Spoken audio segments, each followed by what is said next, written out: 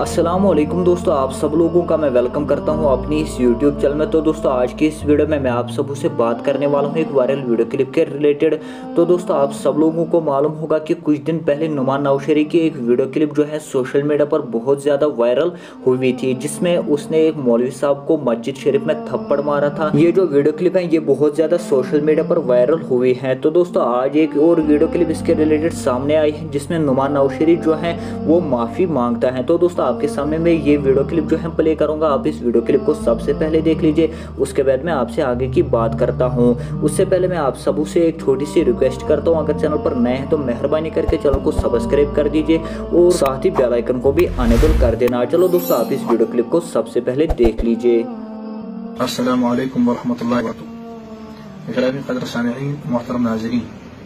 आज अस पन्नो कहो जिक्रो याद फरमाइमत गई तुहस खिदमत मज हाजिर तमो फरमाय तथकनस आय सत पत्म दोहन अंदर वाक़ सपदो तथ मुतलिक फरमो तमो कि मजन शफात मसल अम नश करू सा माजरत बिला कुन बहस बिला यम कि कम क्या मौकफ बस सोन हुक्म हसा कि तुम करो अम नश माजरत तो पन्न जिठन हंदिस हुक्म किस तामीलस तम फेल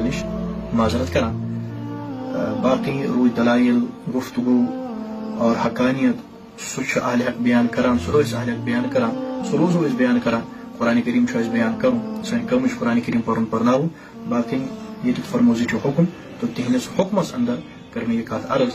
अल्लाह ताला थीन हर कंस इंसान हर कुछ शर महफूज अस्सलाम वालेकुम वरहमतुल्लाहि तो दोस्तों, आप सब लोगों ने ये वीडियो क्लिप देख लिया। आप लोगों की क्या राय है इसके बारे में अपनी अपनी राय कमेंट सेक्शन में ज़रूर शेयर करना। चलो दोस्तों, आज की इस वीडियो में इतना ही। हम मिलते हैं नेक्स्ट वीडियो में। तब तक के लिए अल्लाह हाफिज़।